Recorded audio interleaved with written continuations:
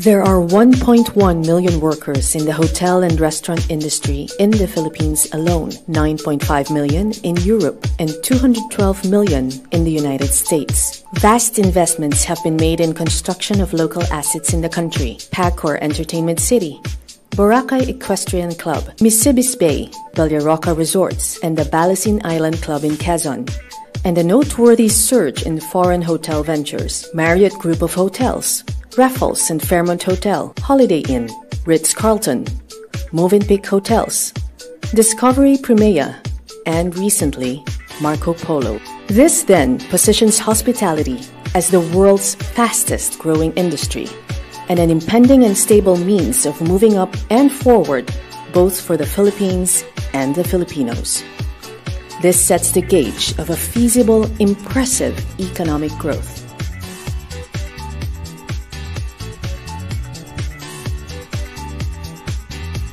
The Asian School of Hospitality Arts, the only hotel school in the country, is tailored to fit the demands of the hospitality industry. It is strongly founded by its competent core courses Bachelor of Science in Hotel and Restaurant Management, Bachelor of Science in Tourism, and Bachelor of Science in Entrepreneurship and made stronger by its intricate and specific career driven programs professional cooking with certificate in hotel and restaurant operations, barista with certificate in hotel and restaurant operations, certificate in professional cooking series, diploma in hospitality management, management in accounting, and soon specialized butler service.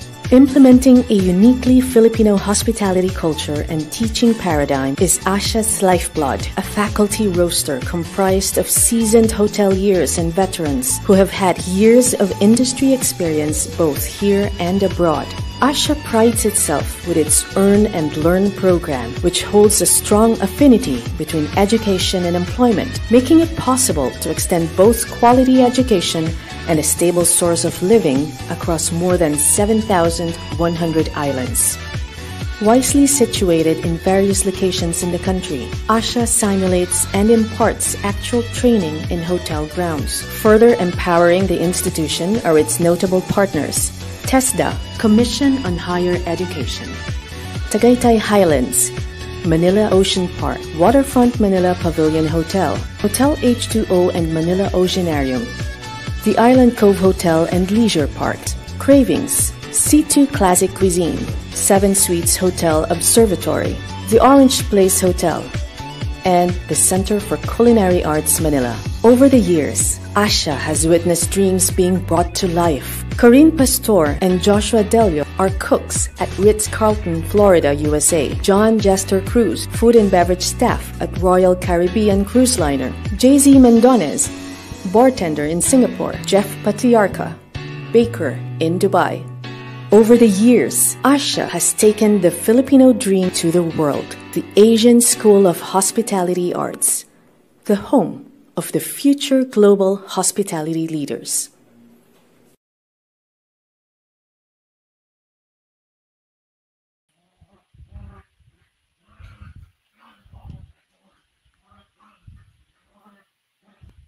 Good evening mga estudyante. Welcome to another episode of Asha Eskwela. Brought to you by Asha Free Education Online. Ako nga pala si Dr. Angie Blanco, Dean ng Asha, Asian School of Hospitality Arts sa Antipolo. And today, tayo ay matututo ng magkakasama. Ang ating episode today ay tungkol sa bartending balik tayo sa bartending, no? Balik tayo sa bartending. So, ang topic natin ngayon ay classification of beverages. So, today meron tayong guest si Sir Nelson Navarro. Isang batikang Isang batikang bartender. bartender. Siya ngayon ay nasa Siya ngayon ay nasa Vikings cruise ship. Vikings cruise ship. So, nasa cruise ship So, ngayon. nasa cruise ship ngayon. uh, crossing the Atlantic uh, crossing Ocean. the Atlantic Ocean. Yes. Papunta. Papunta. So, kumusta na, Sir Nelson? Ma'am Angie, good morning. Good morning po sa inyo lahat mga students. And uh, gaya po nasabi ni Ma'am Angie, nandito po ako on board the Viking Star. So right now, we're, we're in the uh, middle of the Atlantic Ocean. We're heading to uh, uh, Fort Lauderdale, Miami for in preparation of our world cruise next couple of weeks or first week of October. Wow, nasa Wow, aboard the nasa cruise ship si the cruise Sir ship Yes. Nelson. So right Nelson. now it's ra- around uh, 8:45 uh, in the morning po. So Okay, umpisa. Okay, umpisa. Mm. Umpisahan na natin, Sir Umpisa Nelson. na natin, Sir Nelson.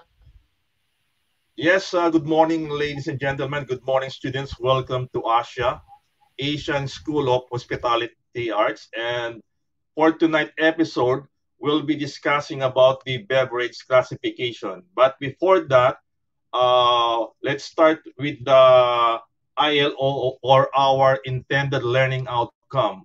For tonight, at the end of this session or episode, the participants should be able to know the types of beverages, know the types of uh, alcohol, and uh, know the different alcohol strength, and at the same time, the whole uh, entire classification of beverage, beverages.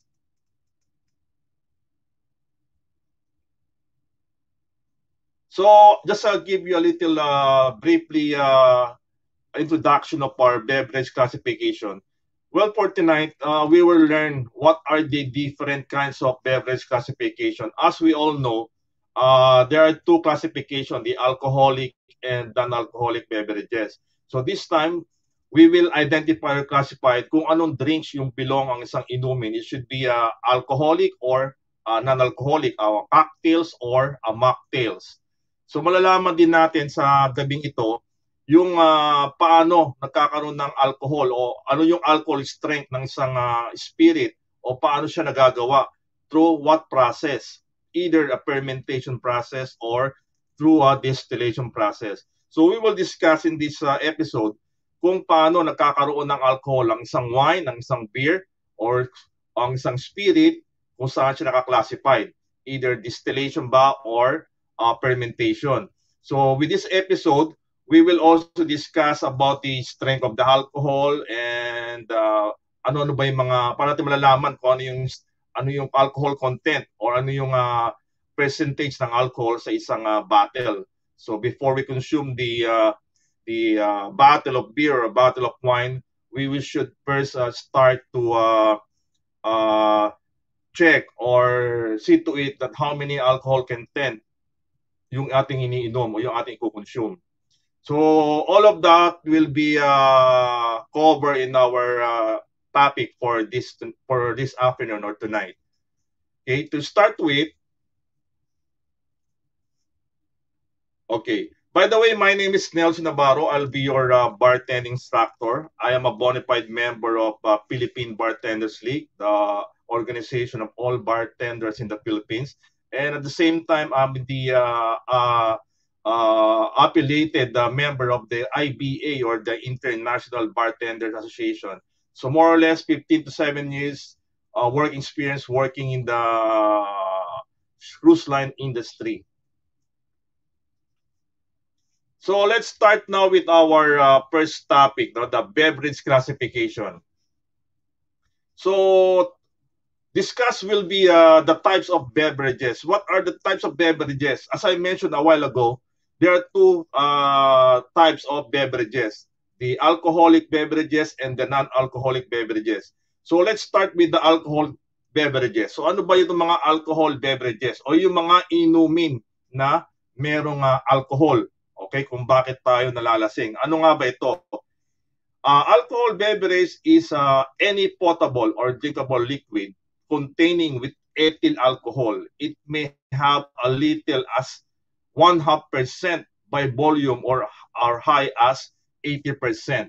So kaya tayo nagkakaroon ng uh, natawag na kaya tayo nagkakaroon ng uh, alcohol sa katawan o ano yung alcohol na i-intake natin pag uminom tayo ng beer, ng wine or ng any spirits, they call it as ethyl alcohol. So the type of beverages like a cocktail, beer or wine or any spirit, gin, vodka, they belong to the uh, classification of beverage to the alcohol beverage. Okay? So next we will go to the non-alcoholic beverages. So ito naman yung kabaliktaran, mga inumin na walang alcohol. So kung meron tayong cocktail, this time they call it mocktails o yung walang walang alcohol yung ating uh, drinks. So the real meaning of non-alcoholic beverages is a alcohol-free or non-alcoholic drink uh, known as temp, uh, temperance drink.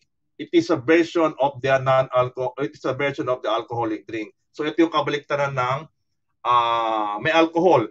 If we have a beer like beer uh, like uh, sa Pil Pilsen or uh, San Miguel 5 5% alcohol. So meron din naman mga beer na no alcohol. So meaning it's a non-alcoholic beer. So 0% alcohol.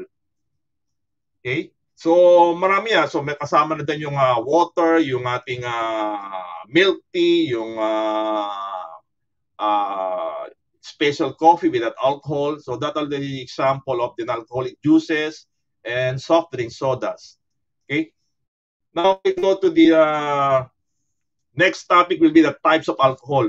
So ano ba itong mga types of alcohol natin? As I mentioned a while ago, no, isa-isay natin yan. So there are three kinds of alcohol. Okay? So let's start with the methyl alcohol or methanol. So methanol comes from wood. Okay? Cannot be drink at it is taken kill at it is killed by taken. So ito yung uh, kind of alcohol na nakita natin sa sa wood. So normally uh, we consider it we, we consider it as a poison. So if, if we intake this alcohol, it can cause us death. No? Pwede, pwede nating ikamatay kung tayo magko-consume nitong klaseng uh, alcohol na to. Is the methanol. Then the other one is the ethyl alcohol or they call it as ethanol. So what is ethanol? So ethanol obtained from grains, fruits with sugar content. It also can be consumed if taken in moderate amount and the alcohol found in alcoholic drinks. So ito yung ano, ito yung uh, dahilan kung bakit ang isang tao ay uh, uh, nalalasing or nagkakaroon ng uh, okay alcohol because of taking of the ethyl alcohol or the ethanol. So ito yung alcohol na nakikita natin sa isang uh, bote ng beer o sa bottle of wine or sa pag-inom natin ng cocktails, yung mixed mixed drinks because mixed drinks composed of uh, base spirit, some liqueurs, and juices. So, ayun yung alcohol na nakikita natin doon sa cocktail drinks. They call it as uh, ethanol. Okay? So, of course, we have to consume it always moderate, no? So, so kung maparami ang pag-inom natin, uh, we can cause uh, intoxicated, no? Magiging ano tayo, magkakaroon tayo ng uh, alcohol, ng maraming alcohol sa katawan. It causes for uh, intoxication. So the other, the next one will be the isopropyl. Okay? The alcohol used for making perfume. So isopropyl like yung uh, rubbing alcohol, yung ating ginagamit sa pag-disinfect ng ating kamay, at the same time yung paggagawa ng perfume. Those uh those kind those, those uh, this kind of alcohol is used uh, are called for isopropyl alcohol. So, yan no, may tatlo tayong klase ng alcohol. Is the methanol or uh, methyl alcohol, ethanol or ethyl alcohol, and last is the isopropyl. So, yung ginagamit na nakita natin alcohol sa isang spirit, isang inumin, ayan na yung tinatawag na ethyl or ethanol, ethyl alcohol. Okay, next. So let's go to the next topic, the uh, alcohol beverage or the alcohol strength, no? Nakikita natin sa isang uh, sa isang bote or they call it uh, fruit, no? Ito yung makikita natin sa bote. Let's say for, for example, meron tayong bote ng uh, isang spirits like gin or vodka. So makikita natin yung uh, kaano ba kataas yung alcohol content ng isang bot ng isang uh, isang spirits or ng isang isang bote ng gin. Okay? they will they will be uh, uh, known or yung tinatawag nating fruit. Okay, may kita sa bote ng isang spirit o isang bote ng isang alak, yung tinatawag na fruit. Ano ba yung fruit? Fruit is the form of measurement in the strength of the alcohol beverages. So, most of the bottle, may kita natin yung fruit doon sa ilalim, uh, lower part of the label of the spirits, no? But there are three kinds of, uh, or there are three ways in expression of alcohol content. So unahin muna natin yung uh, uh, United States no to through America. They have the USAP, okay, or the American fruit. Okay, they have the in the United States they are they they are classified for the alcohol strength doon sa tinatawag na tinatawag nilang American fruit. Then number two yung uh, Sykes or the British way, yung degree fruit. Makikita natin yung uh, sa lower part of the bottle, uh, the British way, they call it Sykes, no? Degree fruit naman yung ano, yung para maklasify din yung alcohol content. So the lastly, yung uh, gay lusac is the French way or they call it uh, yung parang percentage. Percent, percent of alcohol. Normally, may kita natin 40%. So pag nakakita tayo na sa alcohol, sa alcohol sa isang uh, bote ng uh, gin or vodka or brandy whatsoever, what kind of spirits, may kita natin yung 40% alcohol content. So 40, so pag times 2 mo siya, so 40 times 2 is equivalent to 80. That will be converting from percentage to uh, fruit. Okay, so makikita natin yung fruit 80%. So pag i-convert natin sa gay lusac sa French way, so 80 divided by 2 equals 40. So that will be 40% naman yung uh, magiging uh, alcohol content niya. So some bottles they have uh, they have uh, put it in the label 80 for 80 80 fruit or 40 uh, percent alcohol. So may mga ibang bottle na ganyan, no. Meron silang classified na nakalagay na 80 fruit or uh, 40% alcohol content.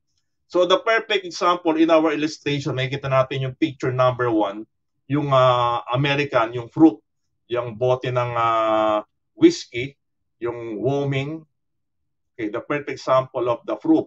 Yung number two picture naman, yung uh, bote ng um, Bromore, makikita natin yung degree fruit, okay, the Sykes or the British way for them to uh, to classify or to uh, uh, consider the alcohol content. They call it fruit. So yung number three naman, picture number three, yung bote ng Hendrix, Okay, naka-circle dyan, naka-red circle, makikita natin yung uh, percent, okay? Percent of alcohol content. Okay. That's the Gay-Lussac or French uh, way to determine the alcohol content.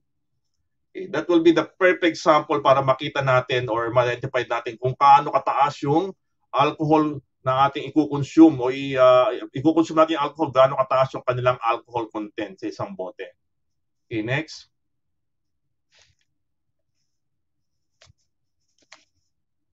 Okay. So, paano nga ba nagkakaroon ng ano? Paano nga nagkakaroon ng alak o paano nagkakaroon ng uh, paano nagagawa ang isang uh, gin, paano nagagawa ang beer, paano nagagawa ang wine? Actually, there are two process no, sa paggagawa ng uh, paggagawa nitong uh, alcohol na to. Paano siya nagkakaroon? So, either the process of fermentation or the process of distillation. So, this time we will uh, uh, uh, tackle about the uh, information kung ano nga ba itong fermentation. So normally fermentation, okay, ano ba yung mga pini-ferment? Uh, yung iniinom nating beer, yan, it's a process of fermentation. Yung mga iniinom nating wines, red wine, white wine, it's also the process of fermentation. Ano nga ba itong fermentation? Okay, uh, fermentation is the process of gradual decomposition of organic compounds induced by the action of a living organism by enzyme or chemical agent, especially the conversion of glucose into ethyl alcohol. So paano nga ba nangyari to? So So normally pag sinabi nating uh, fermentation, ito yung tinatawag na literal na salita na pag-iimbak. Okay? Ini-imbak siya or pini-preserve or ini-imbak sa isang malaking uh, fermented vat. Okay? Uh, lalagyan siya ng uh, okay as we uh, try to the grains, or let's say for example, yung ating uh, grains or yung cereals, they will uh, uh, uh, convert it to a liquid or to, uh, to a little form to become uh, uh, cereals to be grains, no? Then they will gonna put the yeast or but, but before yeast, they're gonna put some enzyme for the chemical reaction. Ano ba tong enzyme na to? So enzyme is the one convert the starch into sugar. Okay? So at the same time, ang function ng uh, enzyme is to speed up the chemical reaction or they call it as biological catalyst. So they're the one who are converting the starch into sugar. Okay. After that, uh, uh, to the process of fermentation, we gonna they gonna put the yeast. Okay, ano po ba itong yeast? Ang yeast eh, it, it is the microorganism that uh, responsible for the whole fermentation. Okay, the yeast is the the yeast metabolizes the sugar extracted from grains which produce alcohol and carbon dioxide. Uh, in my uh, illustration to the to the illustration example, I show you the fermentation in biology. Okay? Okay, para mas madali natin maintindihan. So yung uh, grains, okay, yung ating ferment, yung ating grains should be uh yan siya, pipinuhin siya. Okay? So after siya mapino, uh the enzyme will be will be added. Okay? To convert the starch into uh, sugar. Then after that, the, the, they added the yeast, no? Okay, as you showed in the picture, sugar plus yeast is equivalent to uh, fermentation. But because of the fermentation bath, okay, lalagyan natin sa isang malaking fermented fermented bath, then they cover it, okay, para ma-eliminate yung oxygen. So super so the process of fermentation should be the oxygen should be uh, eliminated. So, so by covering up our fermented bath and the oxygen will be eliminated and carbon dioxide will be uh, uh, formed no because of the carbon dioxide and the perfect the perfect uh, cycle will be completed to have this alcohol on the fermentation so as, as we can as you can see in our uh, illustration, you can see the fermented bath. So that's the simply uh, explanation of what is the fermentation meaning. Okay. So next, the next will be the distillation. So ano naman tong distillation? So normally sa distillation process, ayan yung mga gin, vodka, tequila, uh, cognac or uh, brandy, whiskey. So these are the spirits na dumadaan sa classification ng uh, distillation process. So ano naman tong distillation? Okay, distillation is an in distillation of all the spirits, it is the process in which fermented beverage is heated and evaporation takes place. Then subsequently, the condensing the vapor into liquid. So, as you can see in our illustration, may makita natin dyan, no? Parang, ano, ang perfect, ano to, as a simple, a simple explanation, it's like, uh, it's like a cycle of uh, uh, condensing and evaporation.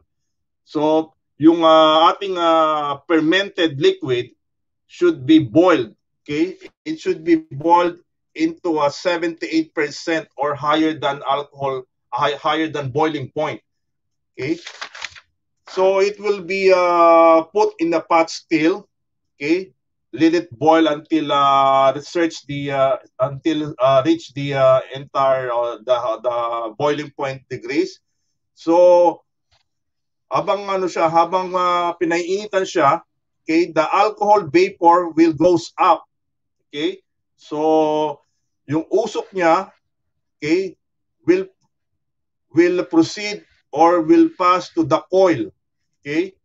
Then after that, this coil have coated with the cold uh, cold um, coil procedure which is the vapor na dumadaan doon sa ating uh, coil will be melted. Okay? So yung vapor na mainit na mainit, so pag dumaan siya doon sa ating uh, coil na it's a little bit cold, so the vapor will be uh, goes uh, formed into liquid. So that liquid is the uh, alcohol. Okay?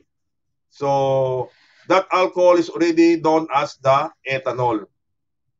So as I mentioned a while ago, kumbaga is uh, pakukuluan natin yung ating uh, fermented liquid or fermented grains, fermented uh, uh, juice of uh, grapes or uh, or any fruits. Then pag na-reach na yung uh, certain boiling uh, average certain point, okay, it will create a vapor. Then dadaan siya sa cooling coil. That vapor will be converted into liquid. And that liquid is already uh, um, uh, called the alcohol, okay, the 100% or uh, pure alcohol. So that will be uh, called ethyl alcohol.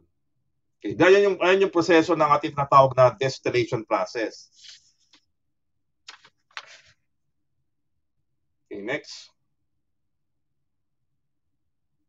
Yan, okay, yan yung ating uh, uh, barko. I'm working in a biking uh, biking star.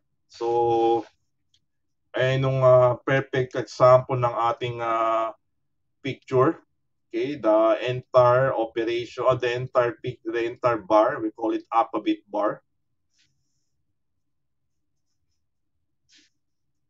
So ito naman yung ating uh, top view tsaka side view ng uh, ng Aquabit bar. That that bar, that bar is located uh, in deck number 7 of our vessel.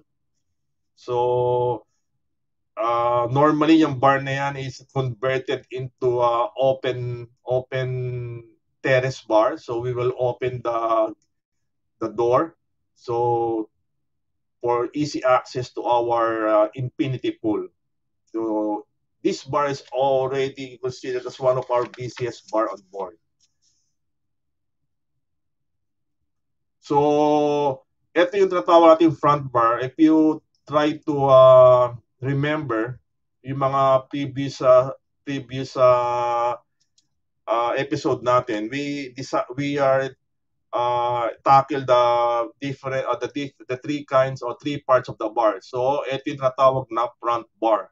So where you can found the uh, the bar stool front bar is the place where the bartender uh, uh, serving the drinks to the guests So that's the uh, front bar.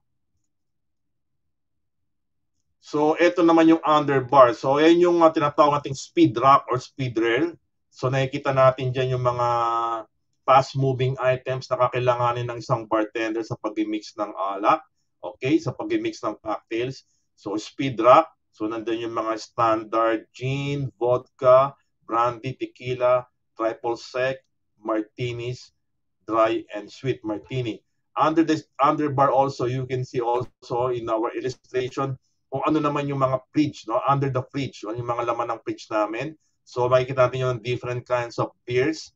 Okay under the beer the beer bill fridge. So makikita natin different kinds of beer so meron kami diyan uh, Budweiser American beer. Meron kaming Italian beer Ferroni. Meron kami diyang Mexican beer De Corona. And some uh, selected items ng mga dark beers and ales. At the same time, sa underbar, nandun din yung aming uh, wine fridge. So, assorted uh, wines. So, white wine should be put in the chiller. So, we have also rosé wine and other selections of uh, different wines. Okay, that's a part of the underbar. So, back bar. So, if you can see to our illustration, back bar is the place where you can see the displays, bottle, uh, spirits, or uh, fancy glasses. So, nandyan yung parang ating uh, wow, bottle display. So, you will see most of the uh, spirits we serve on board, down to vodka, tequila, cognac, uh, gin, vodka, and different kinds of uh, liqueurs. So, yan yung aming uh, beer station naman. So, we're serving uh, we're serving uh, draft beer. So, beer station. So that will be our uh, draft beer. Okay. And coffee machine. Okay, coffee station. So the bar also serving coffee, like for example, yung ating uh, cappuccino. If the guest wanted to have uh, latte or uh, espresso or americano, so it's a heavy purpose uh, coffee machine. So we can make also a coffee uh, macchiato or either hot chocolates so it's all for it's all purpose heavy duty coffee machine. So for hot drinks, no, so we can serve the guests if they wanted to have their uh, espresso or either cappuccino or latte or flavored coffee mocha or uh, coffee uh, hazelnut coffee. So yan. So this one, no, the uh, bar tools and equipment. So ito yung mga uh, makikita yung equipments or tools na ginagamit natin which the previous episodes we also uh, discuss about the different kinds of bar tools. So nandiyan yung ating mga mixer, yung uh, Boston shaker, yung uh, jigger, the measurement we use for mixing the cocktails. We have the strainer, we have the blender, in uh, making our famous pina colada. We, we use our blender and some uh, condiments for making uh, Bloody Mary. We have the uh, salt and pepper, Tabasco, and the Worcestershire sauce. So, stirrer, bar spoon, and strainers. Ayan yung ating mga bar tools and equipment. So next, no, this will be the setup of the uh, restaurant, or we call it the bar, uh, a buffet restaurant. So sa bar na yan, uh, on the other, on the, the both side, it's called the buffet restaurant where they have the uh, setup. So they have the roll up, okay. So they have the spoon and the, the cutlery, the spoon, the knife, so they roll up with the napkins. So the waiter is the one, the dining waiter is the one who is responsible for setting up the uh, restaurant. So that that is our uh, uh, buffet restaurant on board. We call it uh, World Cafe. Okay. That's it for tonight and I hope uh, marami kayong natutunan sa ating uh, topic for for tonight about the beverage classification. So until next week, uh, for now, uh, saying goodbye. This is Nelson about saying goodbye until next week. I hope uh, there will be a lot of more, more classification we will discuss next week. Probably we will start uh, classify the gin, vodka, down. Uh, actually, the wine. We will start the wine for next week. Thank you very much and have a nice uh, evening and have a pleasant uh, evening for everybody and stay safe for everybody. Okay, thank you very much, Okay, Sir Nelson. Napakarami much, Sir nating Nelson. Napakarami nating natutunan ngayong gabi. Oh, Okay, so don't forget Okay, so to don't sign forget up the to attendance sign up the today. So next week, magkita-kita tayo ulit, no? 6 p.m. Friday. Marami pa tayong kaalaman, mga lessons para sa inyo. Again, ako si Dean Angie Blanco ng Asya Eskwela. Tulong-tulong tayo para mapakaalaman. Tandaan, sa Asya, may pag-asa. See you next week. Goodbye!